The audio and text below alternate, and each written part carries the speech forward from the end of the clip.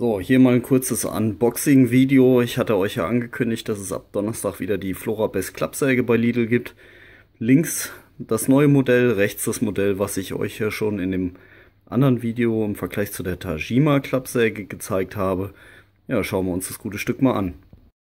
Ja, hier auf der Rückseite der Verpackung seht ihr noch mal ein paar Beschreibungen zu der Klappsäge. Dass es sich hier um ein Sägeblatt aus Carbonstahl handelt mit zwei einstellbaren Schnittwinkeln und einer dreiseitig geschliffenen Zahnung. Klingenlänge ca. 18 cm mit einem Softgriff. Hier unten nochmal so ein paar visuelle Darstellungen. Und jetzt packe ich die Säge mal aus. So, die Säge hat natürlich hier noch einen Klingenschutz. Äh, den entfernen wir jetzt schnell. Aber was wir hier schon sehen als Unterschied zu dem alten Modell ist, äh, dass es hier nochmal so eine Aussparung gibt, wo ihr dann mit dem Finger rein könnt, um die Säge eventuell einfacher äh, hier aus dem Griff herauszubekommen.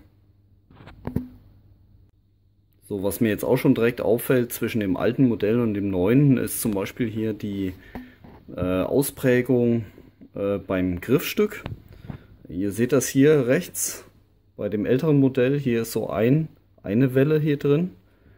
Bei dem neueren Modell scheint es so, als wenn das Griffstück zum einen hier länger ist, also dieser Griffbereich, als auch hier zwei Wellen. Das heißt, ihr könnt also direkt hier vorne packen.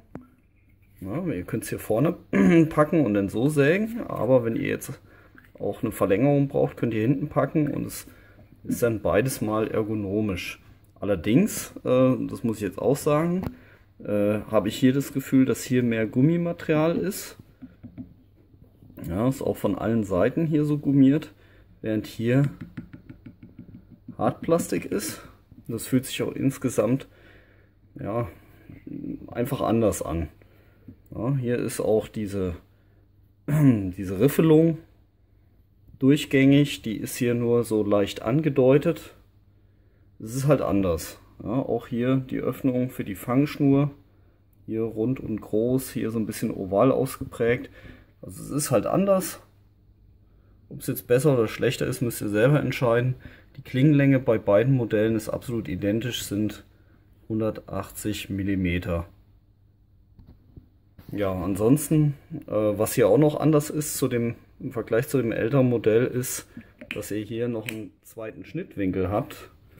Äh, was sicherlich interessant ist, wenn ihr über Kopf an Ästen sägen wollt.